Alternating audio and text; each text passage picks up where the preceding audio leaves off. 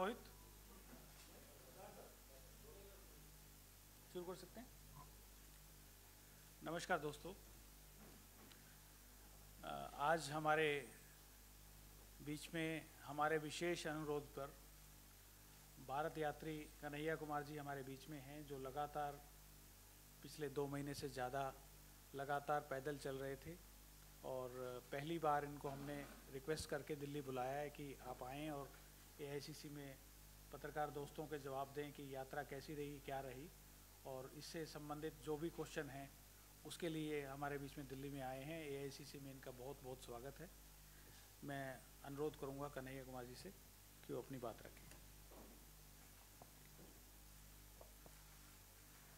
सबसे पहले तो मैं भारत जोरो यात्रा की तरफ़ से, सारे यात्रियों की तरफ़ से, भारत यात्री, अतिथि यात्री इंटर स्टेट यात्री और सेवा दल के जो कार्यकर्ता हैं और वो सारे लोग जो किसी कैटेगरी में नहीं है, लेकिन इस यात्रा में चल रहे हैं एक यात्री के तौर पे, आप सभी पत्रकार साथियों का अभिनंदन करता हूँ। और आप सब लोग आज आए हैं, वैसे तो पत्रकारिता में कोई दिन छुट्टी का होता नहीं है, लेकिन आज हमारी भी छुट्टी है, संडे भी है, और आप लोग जो है मेरे ख्याल से हिमाचल से भी आए होंगे।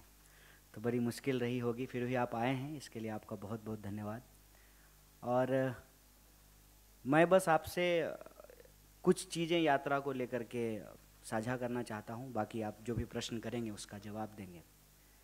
एक तो ये यात्रा हमारी उम्मीदों से बढ़कर अपने उद्देश्यों को पूरा करने में कामयाब होता हुआ दिख रहा है। जैसे जब हम लोग सात तारीख को इसका प्रॉपर इनाग्रेशन हुआ, उद्घाटन हुआ। तो बहुत सारे सवाल थे मन में। लोग आएँगे कि नहीं आएँगे? लोगों का रिस्पॉन्स क्या होगा? हम लोग अपने ऊपर भी सवाल खड़ा कर रहे थे कि कैसे 25 किलोमीटर चलेंगे? क्योंकि किसी को भी जो है इतना चलने की आदत है नहीं, और हम लोग जो है फॉरेस्ट गंप तो है नहीं कि एक बार जो है जूते का लैस बाँध करके जो है दौड़ना शुरू किए तो दौड़ते रहेंगे। तो ये सारे सवाल मन में थे, लेकिन वो जो एक बात स्कूल में पढ़ा करते थे कि कई बार इंसान पैरों से नहीं, हौसलों से चलता है, वो इस यात्रा में जा कर के सही साबित हुआ है। कैसे यात्रा के साठ से ज़्यादा दिन कट गए, सचमुच पता नहीं चला। तकलीफ़ें हुई अलग अलग तरह की तकलीफ़ें लोगों को हुई। लेकिन अब लोग जो है, अपने शारीरिक संघर्षों से ऊपर उठ चुके हैं। मतलब कभी तो ऐसा होता है कि मज़ाक मज़ाक में कि, यात्रा समाप्त हो गई है और अब जो है, अपने कैंप में वापस लौटना है। लोगों को इतना चलने की आदत है कि गाड़ी सामने हो, बस सामने हो, फिर भी पैदल चलने लगते हैं। तो बीच में जो है, एक, जब छुट्टी होती है तो कई सारे लोग घर गए बहुत सारे यात्री बीच में। दीपावली था तो लोग घर गए। लेकिन मैं उस वक्त भी कैंप साइड में ही था। तो कुछ जो लोग घर से लौट करके आए उन्होंने एक बड़ी मज़ेदार कहानी सुनाई कि आ, हम लोग जा रहे थे एक मार्केट में तो घर वालों ने कहा कि हम लोग कार से चलते हैं तुम तो पैदल चलो। आराम से 20-25 किलोमीटर तो चल ही लेते हो अब। 20-25 किलोमीटर चलने में कोई दिक्कत नहीं है। और आज भी जब मैं इस प्रेस कॉन्फ्रेंस के लिए आ रहा था तो मेरे कुछ दोस्तों ने कहा कि इंतज़ार किस बात का? शुरू कर दो। बारह तेरह किलोमीटर है, चौबीस अकबर रोड पहुँच जाओगे। मॉर्निंग सेशन में वैसे भी तुम लोग पंद्रह किलोमीटर चलते ही हो। तो ये यात्रा मेरे ख्याल से बहुत सहज हो चुका है अब। भारत यात्रियों के लिए भी बहुत सहज हो गया है। और ये जो बार बार मन में सवाल था ना कि लोग आएँगे कि नहीं आएँगे, लोग भी बहुत सहज हो गए हैं। दो तरह के लोग हैं, मैं आपको साफ़ साफ़ बता दूँ। एक तो वो लोग हैं जो पार्टी से सीधे तौर पे जुड़े हुए हैं। एक वो लोग हैं जो पार्टी से नहीं जुड़े हुए हैं, लेकिन इस यात्रा से जुड़ चुके हैं। और उन लोगों को देखना और उनके अनुभव के आधार पे ही कुछ चीज़ें मैं आपसे साझा करना चाहता हूँ कि जो लोग अपने घरों में खड़े हैं, अपने छतों पर, दुकान के आगे, किसी कॉर्नर पर, जहाँ गाँव शुरू होता है उसके मुख्य द्वार के पास, मोबाइल से जो है वीडियो बना रहे हैं, उनकी आँखों को पढ़ने से इतना महसूस होता है कि ऐसी यात्रा की ज़रूरत थी इस देश को। और यही कारण है कि चाहे जितनी भी चुनौतियाँ रही हों यह यात्रा स्वाभाविक तौर पे उन सारी चुनौतियों को एक एक करके पार करता जा रहा है। कई ऐसा कई ऐसी परिस्थितियाँ थी जैसे जहाँ गर्मी बहुत हो, होनी थी ऐसी अपेक्षा थी कि बहुत गर्मी होगी वहाँ बारिश हो गई जहाँ लगा कि यहाँ पे चलना बहुत मुश्किल होगा, कई कई सारी जो है कठिनाइयाँ होंगी। वहाँ पे कुछ ऐसी परिस्थिति उत्पन्न हुई कि सब राह आसान हो गया। तो एक बात जो कुल जमा ज़ोर हम इस यात्रा के बारे में कह सकते हैं कि यह यात्रा अपने पहले पड़ाव को पूरी तरीके से पूरा कर चुका है। और वो पहला पड़ाव है कि यात्री यात्रा के लिए सहज हो चुके हैं, यात्रा देश के लिए सहज हो चुका है और देश यात्रा के लिए सहज हो चुका है। मैं आपसे कोई शिकायत नहीं कर रहा हूँ, क्योंकि जैसे हमारा प्रोफेशन है, आपका भी प्रोफेशन है, और हर किसी की अपनी मजबूरी होती है। लेकिन आप जानते हैं कि यात्रा को जितना दिखाया जाना चाहिए, जितना बताया जाना चाहिए, उतना दिखाया और बताया नहीं गया। फिर भी एक खास बात आप सारे लोगों ने महसूस किया होगा कि जब मोबाइल, टीवी नहीं था तब भी समाज में संवाद था कम्युनिकेशन था। और सिर्फ़ इंसानों में ही कम्युनिकेशन नहीं होता है, पक्षियों में भी कम्युनिकेशन होता है, उनकी भी अपनी आवाज़ें होती हैं। आज भी हमारे समाज में वो कम्युनिकेशन मौजूद है। और ये यात्रा में चलते हुए हमको महसूस हुआ कि भले बहुत ना दिखाया गया हो, लेकिन इस देश के लगभग हर व्यक्ति को ये पता है कि यात्रा हो रही है। इसका मतलब हमारा internal communication beyond WhatsApp TV अखबार आज भी ज़िंदा है।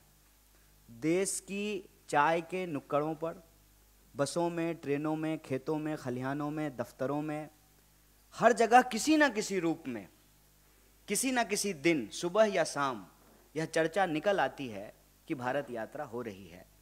तो भारत यात्रा ने अपना पहला पड़ाव पूरा कर लिया है। पूरे देश को पता है कि उनके सवालों को लेकर के ये यात्रा हो रही है। ये जो हमने कहा कि उनके सवाल, ये भी हमारे दिमाग में जो था, वो अपनी जगह पे है। लेकिन यात्रा के दौरान जो हमने कलेक्ट किया, वो ज़्यादा महत्वपूर्ण और प्रासंगिक है। उनके सवाल कहने का मतलब है कि जब महिलाएँ यात्रा में आकर के जुड़ती हैं, और मैं बार बार कह रहा हूँ, जो हमारी पार्टी वर्कर नहीं है, वो बोलती हैं महँगाई के बारे में कि 400 के सिलेंडर जो है हज़ार रुपये का हो गया है। घर चलाना मुश्किल हो रहा है। जो नौजवान जुड़े हुए हैं, आपको सॉफ्टवेयर इंजीनियरिंग के पेशे से या जो है सर्विस सेक्टर से जुड़े हुए हैं, जिस तरह से उनकी नौकरियाँ कम हो गई है, जॉब की इनसिक्योरिटी बढ़ी है, उसके बारे में वो बात करते हैं। जो स्टूडेंट पढ़ रहे हैं, तैयारियाँ कर रहे हैं, रास्ते में कई ऐसी प्राइवेट एकेडमी मिली जहाँ आर्मी में बहाली की ट्रेनिंग दी जाती है। वहाँ के जो है बच्चे बाहर निकल करके आए और बात किए। जो लोग सुबह, जैसे सुबह हम लोग भी वॉक करते हैं और आप देखेंगे इस देश में संस्कृति मौजूद है कि सड़क के किनारे आपको दौड़ते हुए नौजवान मिलेंगे। तो वो यात्रा से आकर के जुड़ते हैं और बेरोजगारी के बारे में बताते हैं। किसान बड़े पैमाने पे अलग अलग इलाके के किसान अपनी अलग अलग समस्याओं को लेकर के। जैसे कपास की खेती करने वाले किसान, सोयाबीन की खेती करने वाले किसान, वो सब आकर के जो है अपनी परेशानी बता रहे हैं। गन्ना गन्ना की खेती करने वाले किसान जो है बड़े पैमाने पे आकर के अपनी समस्याएँ बताएँ। तो महिलाएँ, किसान, नौजवान, सिविल जो आपको सर्विस सेक्टर में काम करने वाले लोग हैं, या जो प्रोफेशनल्स हैं, जिनके पास ऑलरेडी स्किल है, जिन्होंने बीएड की डिग्री कर रखी है, जिन्होंने बीई कर रखा है बैचलर ऑफ़ इंजीनियरिंग कर रखा है उनको किस तरीके से जॉब नहीं मिल रहा है?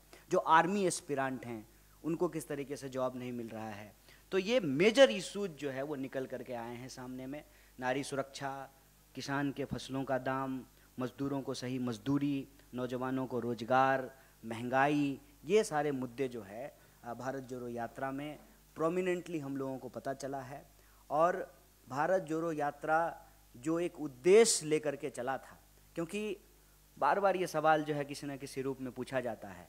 आज हमारे एक पत्रकार दोस्त ने फ़ोन किया और कहा कि, कितना जोरे? भारत कितना जोरे? तो हम बोले कि, टेलर का दुकान चलाते हैं क्या? कि डेढ़ मीटर दौड़ जोड़ दिए, साढ़े तीन मीटर जोड़ दिए। कितना टूटा हुआ है आप? ये सवाल पहले खुद से पूछिए। फिर पता चलेगा कि कितना जुड़ा। जब यही महसूस नहीं हो रहा है कि कितना टूटा हुआ है तो क्या जोड़ रहे हैं ये भी पता नहीं चलेगा। हमने कहा कि जब आपको ये महसूस होता है कि आपने अपनी पूरी ज़िंदगी किसी एक प्रोफेशन को दिया, लेकिन चैन नहीं है, सुख नहीं है, शांति नहीं है, हर वक्त ये दिमाग पे प्रेशर रहता है कि कब नौकरी चली जाएगी। तो यह जो असुरक्षा है, इस असुरक्षा की भावना को खत्म करके सुरक्षा की भावना को जोड़ना चाहते हैं। ये भारत जोड़ो यात्रा का लक्ष्य है। जो नौजवान अपनी पढ़ाई कर रहा है, उसकी जो उम्मीद है, जो उम्मीद टूटती है, जब बहाली नहीं निकलती है या प्रश्न पत्र लीक हो जाता है, उस टूटी हुई उम्मीद को जोड़ना इस भारत जोड़ो यात्रा का लक्ष्य है। जो महिलाएँ आ रही हैं, उस भावनात्मक तस्वीर को आप सब लोगों ने देखा होगा कि कैसे ये ये आसान बात नहीं है कि किसी गैर मर्द के साथ उतनी सहजता से कोई महिला मिले। तो महिलाओं को जो आज नारी सुरक्षा की स्थिति है, जिस तरीके से बलात्कारियों को प्रेज किया जा रहा है, ऐसी परिस्थिति में महिलाओं की उस टूटी हुई उम्मीद को जोड़ना, ये भारत जोड़ो यात्रा का लक्ष्य है। और हमारा मानना है कि जितनी सहजता से ये यात्रा आगे बढ़ रही है और लोगों के मुद्दों को कलेक्ट कर रही है, लोगों की आँखों में देखने से ये बार बार महसूस होता है कि इस यात्रा की ज़रूरत थी। भारत जोड़ो यात्रा ने अपने पहले पड़ाव को पूरा किया है। भारत जोड़ो यात्रा को अपने दूसरे पड़ाव को भी पूरा करना है। और दूसरा पड़ाव ये है कि हम इस देश की सरकार को, इस देश की सत्ता को, जो देश के लोगों के मुद्दे हैं, उस पर उनको जवाबदेही तय करनी पड़ेगी। ये भारत जोड़ो यात्रा का दूसरा पड़ाव होगा। और हमें पूरी उम्मीद है कि उस पड़ाव को भी हम लोग पूरा करेंगे। आप सब लोग आए, हमारी बात सुने। इसके लिए आपका बहुत बहुत शुक्रिया, बहुत धन्यवाद। बाकी आप प्रश्न पूछेंगे तो और सारी चीज़ों का जवाब दिया जाएगा। थैंक यू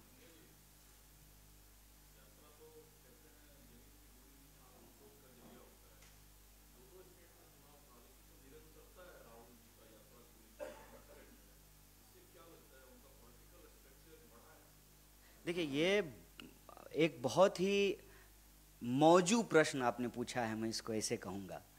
क्योंकि पहले जब मैं लोगों से बात करता था और कहता था कि हम भारत जोड़ो यात्रा में जा रहे हैं तो राहुल जी तो हमारे नेता हैं। हमारे दोस्तों को भी ये भरोसा नहीं होता था कि हम लोग 25 किलोमीटर रोज पैदल चलेंगे। यहाँ से शुरू हुई है ये ये पूरा कॉन्वर्सेशन जो आप सवाल पूछ रहे हैं। और राहुल जी को लेकर के तो पता नहीं क्या क्या कहा गया है। क्या क्या कहा गया है? एक पत्रकार ने हमको कहा कि इस यात्रा से राहुल जी की छवि सुधरेगी। हमने कहा कि आप गलत तरीके से बात को रख रहे हैं। राहुल जी की छवि सुधरेगी नहीं। राहुल जी की जो एक्चुअल रियलिटी है ना, उनकी जो वास्तविकता है, वो देश को आगे दिखेगा। वैसे ही जैसे कहते हैं ना कि हाँ हाथ कंगन को आरसी क्या, पढ़े लिखे को फारसी क्या? प्रत्यक्ष को प्रमाण की ज़रूरत नहीं होती है। व्हाट्सएप पे जो मैसेज आया है या टीवी डिबेटों में जो खड़ा करने का एक एक जो है चरित्र और एक छवि खड़ा करने की जो कोशिश की गई है, उसको जनता अपने आँखों से देख करके समाप्त कर लेगी। अब उसके पास उसका फ़र्स्ट हैंड इंफॉर्मेशन होगा, जो उसने अपनी आँखों से देखा है। क्योंकि इस यात्रा के दौरान जितनी भी बातें राहुल जी को लेकर के बोली जाती थी, सीरियस नहीं है, विदेश चले जाएँगे, पैदल नहीं चलेंगे, छुट्टी मनाने चले जाएँगे छुट्टी होगी तो दिल्ली आ जाएँगे। अरे, कैसी बातें करते हो? कंटेनर में थोड़ी रहेंगे। कैसी बातें करते हो? 25 किलोमीटर पैदल थोड़ी चलेंगे। ये सारी चीज़ें समाप्त हो गई है। और हम कहते हैं कि उनकी छवि बिगाड़ने के लिए करोड़ों रुपया खर्च करना पड़ा। उनकी जो वास्तविकता है ना, उसके लिए सिर्फ़ उनको रोड पे निकल करके पैदल चलना पड़ा। कितना फ़र्क है। बस आपको जनता के बीच में आप गए और आपको लेकर के जितनी कोशिशें थी, उस सब पे जो है पानी फिर गया। और आज वही लोग, मैं आपको ये कहना चाहता हूँ कि जो हमको सवाल पूछते थे ना, कि चलोगे कि नहीं चलोगे, राहुल जी के को लेकर के तो उनके सारे सवाल अपने आप समाप्त हो गए हैं। और इतनी मार्मिक तस्वीरें आती हैं, बच्चों के साथ, महिलाओं के साथ, बूढ़ों के साथ, और इस देश के वो लोग जो महसूस करते हैं कि उनकी उम्मीदें टूट रही हैं। चाहे वो किसान हो, नौजवान हो, महिलाएँ हों, चाहे इस देश की सिविल सोसाइटी हो, रिटायर्ड जज हों, फ़िल्म में काम करने वाले लोग हों, पत्रकार हों, लेखक हों, साहित्यकार हों, और चाहे वो फैमिली जिनके परिवार से किसी न किसी की शहादत हुई है। आप लोगों को मालूम होगा कि हम जिस भी स्टेट में जा रहे हैं, उस स्टेट से जुड़ा हुआ जो बहुत एक कहते हैं ना कि जिस मुद्दे को लेकर के समाज में बड़ी बहस हुई हो, या जिस मुद्दे ने इस समाज को बहुत ज़्यादा उद्वेलित किया हो, उस मुद्दे से संबंधित परिवार भी हमारी यात्रा में आकर के जुड़ता है। मसलन, आप जानते हैं कि कर्नाटक में गौरी लंकेश जी का परिवार आया, तेलंगाना में जो है रोहित बेमुला जी का परिवार आया, और आने वाले समय में भी वो सारे लोग जिनको लगता है कि उनके साथ अन्याय हुआ है, न्याय की उस उम्मीद के लिए वो लोग इस यात्रा में शामिल हो रहे हैं। तो ये जो प्रश्न आपने पूछा कि राहुल जी का कद बड़ा होगा, मैं समझता हूँ कि एक बात कही जाती है ना कि बड़े बड़ाई ना करे, बड़े ना बोले, बोल। रहीमन हीरा कब कहे, लाख टका ममोल। ये उनका कद बड़ा होगा, छोटा होगा, ये प्रश्न नहीं है। उनका जो वास्तविकता है, उनकी जो रियलिटी है, उनको लेकर के जो झूठ झूठ, एक झूठ का जो है, वातावरण, एक आवरण जो खड़ा किया गया है, वो अपने आप जो है, धाराशाही हो गया है। वो सारी चीज़ें कि सीरियस नहीं है, विदेश चले जाएँगे, छुट्टी पे चले जाएँगे कंसिस्टेंसी नहीं है, वो सारे सवाल जो हैं वो निराधार साबित हुए हैं।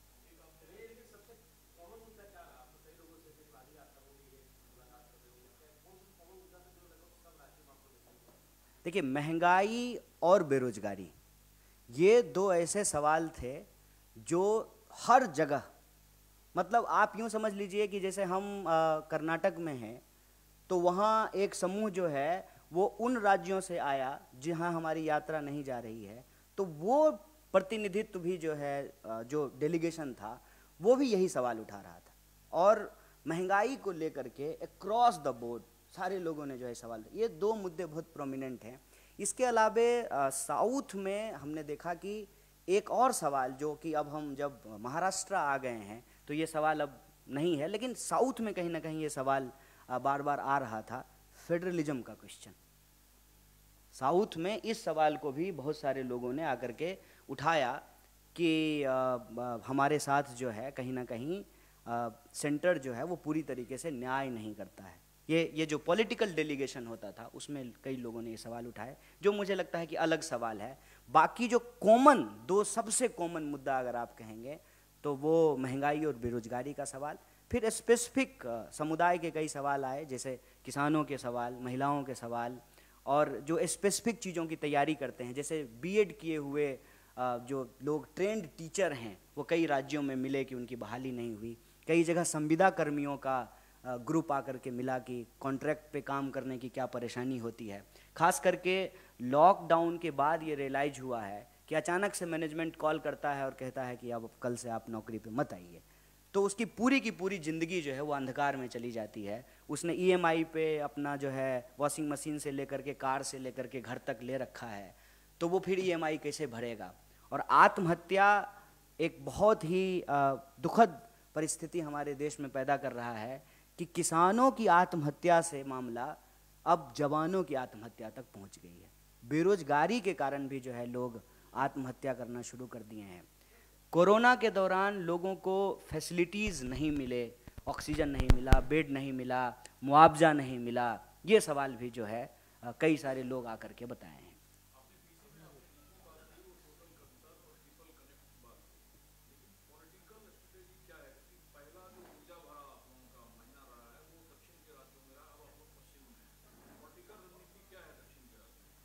देखिए एक तो मैं बार बार कह रहा हूँ, और हमारे सारे सीनियर भी कह रहे हैं कि इस यात्रा का उद्देश्य राजनीतिक भी है। सिर्फ़ राजनीतिक ही नहीं है। ये बात ना, हम लोग बार बार इसको क्लियर कर रहे हैं कि अगर हम इस यात्रा को सिर्फ़ राजनीतिक ही मानेंगे तो राजनीतिक बात भी जो है ना, उसमें सारे डायमेंशन कवर नहीं होते हैं। सिर्फ़ चुनाव की बात होती है। बाकी सारे और जो डायमेंशन है, उसको छोड़ दिए जाते हैं। हमारी नीति शुरू में जो थी, सबसे पहले जहाँ से यात्रा शुरू हुई, कि लोग परेशान हैं, लोगों के अंदर गुस्सा है, लोगों के भीतर डर पैदा किया जा रहा है, नफरत पैदा किया जा रहा है, इससे देश जो है भावनात्मक रूप से कमज़ोर होगा। और कोई भी देश जब भावनात्मक रूप से कमज़ोर होता है, जब वो आपस में यूनाइटेड नहीं होते हैं तो बाकी सारी प्रोग्रेस की बात जो है वो पीछे चली जाती है। और जो हम लोग सवाल उठा रहे हैं एक मज़बूत विपक्ष के तौर पे, जो हमारी रिस्पॉन्सिबिलिटी है, वो भी लोगों तक नहीं पहुँच पा रही है कि हम उनके लिए लड़ रहे हैं। तो जब आपके करंट कम्युनिकेशन के टूल्स काम नहीं कर रहे हों तो कहते हैं ना back to basics back to classic और ये बैक टू बेसिक या बैक टू क्लासिक जो है, हम कहते हैं कि ये एक गांधीयन मेथड है। कि गांधी जी दांडी यात्रा पे चले। या जो है इस देश में कई बार यात्राएँ की गई ठीक है? तो उसमें मुख्य सवाल ये था कि हम लोगों के बीच जाएँगे हम उनके सवालों को लेकर के लड़ रहे हैं उनको ये भरोसा होगा और हम अपनी सु, सुनाएँगे नहीं उनकी सुनेंगे।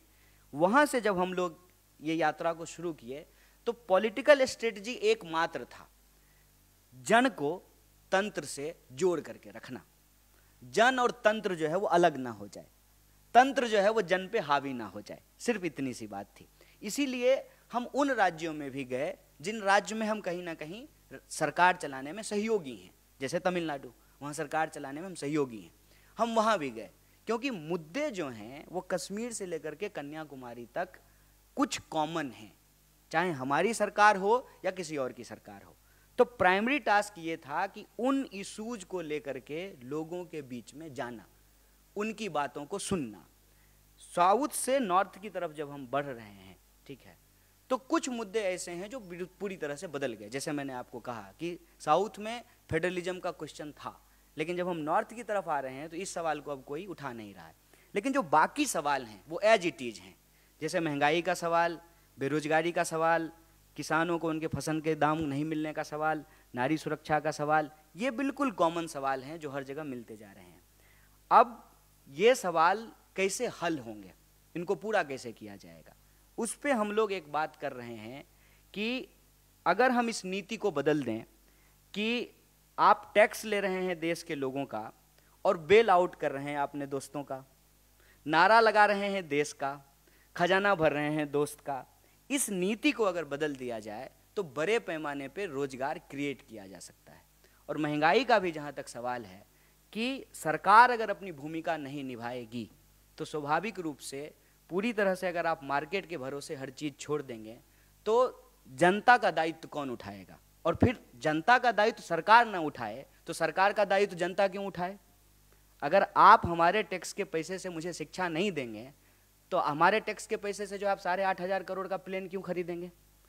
अब आप ये देखिए कि LIC में देश के आम लोगों का पैसा जमा है। एलआईसी का सबसे ज़्यादा शेयर जो है वो अदानी जी के पास है। तो हमारा पैसा लेकर के आप अमीर हो रहे हैं और हमारे पास ना जॉब की गारंटी है, ना हमारे पैसे की गारंटी है, ना जो है हम जिस, जो हमारी ज़रूरत की चीज़ें हैं, उसको हम एक्सेस कर पा रहे हैं। रोज़ महँगाई बढ़ रही है। तो ये चीज़ें हम लोगों को समझ में आ रही है। तो उसमें ये समझ में आता है कि नॉर्थ से लेकर के साउथ तक पॉलिटिकल मोबिलाइजेशन किया जा सकता है।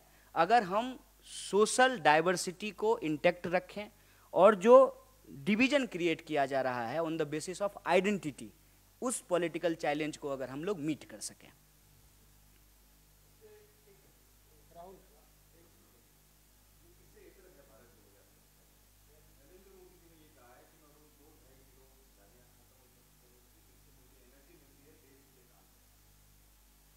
देखिए, एक तो नरेंद्र मोदी जी बहुत कुछ कहते हैं। आजकल जो है, हम लोग उन चीज़ों पे जा नहीं रहे हैं।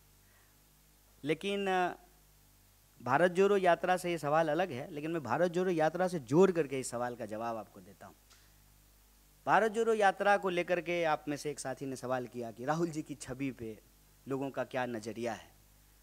तो हमने यही कहा ना कि उनकी जो वास्तविकता थी, वो वास्तविकता भी लोगों को नहीं मालूम था। मोदी जी का जो झूठ है ना, वो भी लोगों को मालूम है। मसलन बीजेपी के प्रेसिडेंट ने कहा हिमाचल चुनाव के दौरान कि प्रधानमंत्री जी फ़ोन करके यूक्रेन युद्ध रुकवा दिए। एक बागी विधायक तो प्रधानमंत्री के फ़ोन से बैठ नहीं रहा है। एक एमएलए का कैंडिडेट प्रधानमंत्री के फ़ोन से नहीं बैठा और यूक्रेन का युद्ध रुक गया। तो झूठ का ना, कोई सिर पैर नहीं होता है साहब। प्रधानमंत्री जी हमेशा झूठ का इस्तेमाल करते हैं देश के बेसिक इशूज को डाइवर्ट करने के लिए। विपक्षी उनको गाली दे रहा है, क्या फ़र्क पड़ता है? देश की जनता उनको वोट दे रही है ना? एक बार नहीं, दो बार वोट दी है ना? तो देश की जनता से जो उन्होंने वादा किया था, उस वादे का क्या हुआ? यह जवाब उनको देना चाहिए। दो किलो गाली मिल रहा है कि पचास किलो गाली मिल रहा है यह इंपॉर्टेंट नहीं है। इस देश में गांधी को गोली मिली है।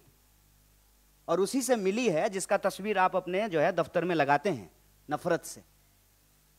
और जो है आप नफरत फैलाते हैं, नफरत फैलाने वालों को आप फॉलो करते हैं, नफरत फैलाने वालों को आप प्रमोट करते हैं, और फिर जो है विक्टिम कार्ड भी खेल रहे हैं। गोली मिली है इस देश में गांधी को। और जो गाल, गोली मारने की बात करने वाले लोग हैं, जिनके पिताजी नेता थे उनको मंच पे बिठा करके बगल में परिवारवाद पे भाषण देते हैं, इसको कहते हैं कथनी और करनी में फ़र्क होना। ये सब बेकार की बातें हैं साहब। देश की जनता ने प्रधानमंत्री जी को मैंडेट दिया है और प्रधानमंत्री जी ने देश की जनता से जो वादा किया था, उसको पूरा नहीं किया है।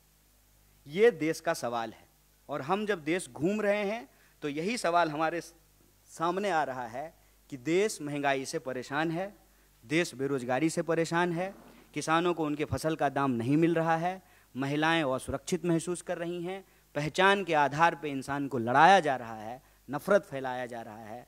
अगर देश भावनात्मक रूप से कमज़ोर होगा, भावनात्मक रूप से अगर देश इकट्ठा नहीं रहेगा तो देश की प्रगति में बाधा होगी। अगर हम चाहते हैं कि देश की प्रगति हो तो हमको महँगाई, बेरोजगारी जैसे सवालों को हल करना पड़ेगा, और हम सब भारतीय हैं। इस भावना को मज़बूत करके हम प्रगति की राह पे आगे बढ़ सकते हैं।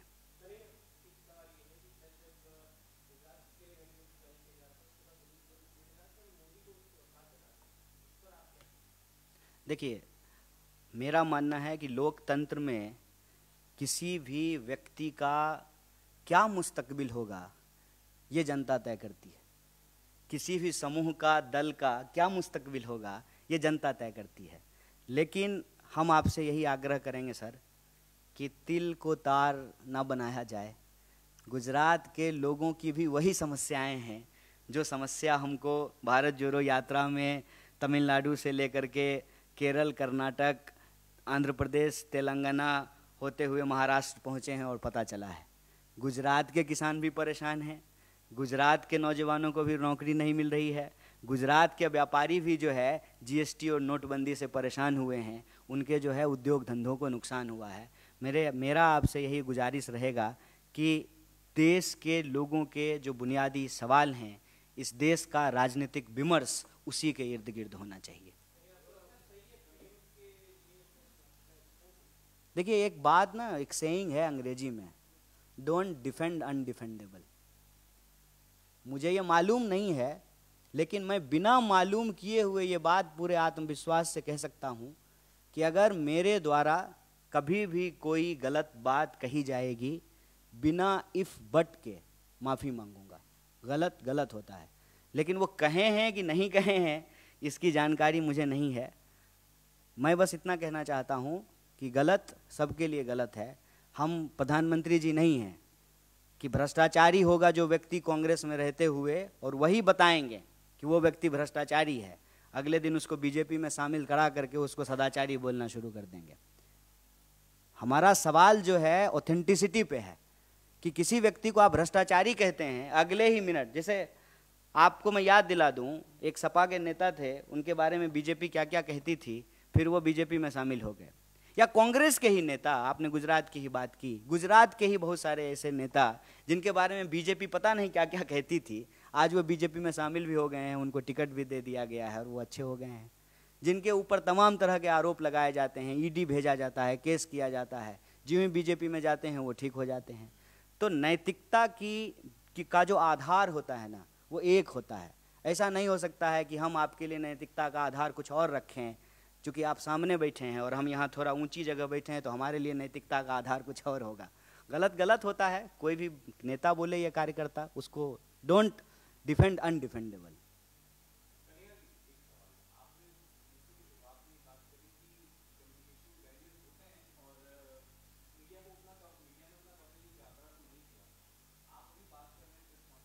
नहीं मैं शिकायत नहीं किया था।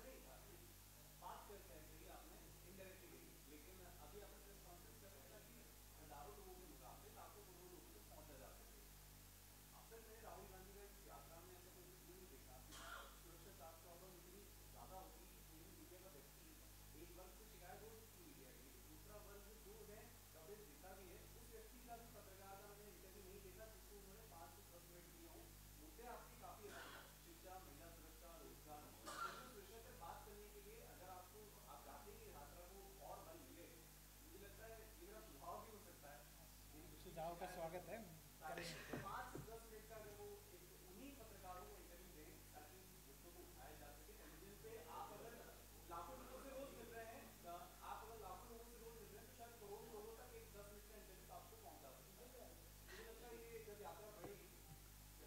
आपका आपका सुझाव अच्छा है, लेकिन मैं बस इतना कहूँगा कि आप हमारे लिए महत्वपूर्ण हैं। चाहे जो मजबूरी हो, मीडिया, लोकतंत्र की एक ज़रूरत है, लोकतंत्र का एक पिलर है और शिकवा शिकायत अपनी जगह पे होता है और ये होता है, विपक्ष में जब लोग होते हैं तो शिकायत होता है। उसमें मैं ज़्यादा गिले शिकवे में नहीं जा रहा, लेकिन आप हमारे लिए महत्वपूर्ण हैं, तभी तो आज छुट्टी का दिन है, आज हम आराम करते, सोते, लेकिन जो है हम आपके बीच आए हैं आपसे बात करने के लिए। जहाँ तक हमारे नेता राहुल जी का सवाल है तो आप जानते हैं कि जो है वो मीडिया से जी चुराने वाले नहीं हैं और लिखे हुए सवाल का इंटरव्यू भी नहीं देते हैं। और कोई ऐसा स्टेट नहीं है जहाँ प्रेस कॉन्फ्रेंस नहीं कर रहे हैं। अभी फिर उनका जो है महाराष्ट्र में प्रेस कॉन्फ्रेंस होने वाला है। और ये मैं फिर से एक तुलना कर देता हूँ। विपक्ष पर आप सवाल उठा रहे हैं, स्वागत है। आग्रह है कि सत्ता से भी पूछिए। प्रधानमंत्री जी ने आज तक एक भी प्रेस कॉन्फ्रेंस नहीं किया है। Thank you thank you very much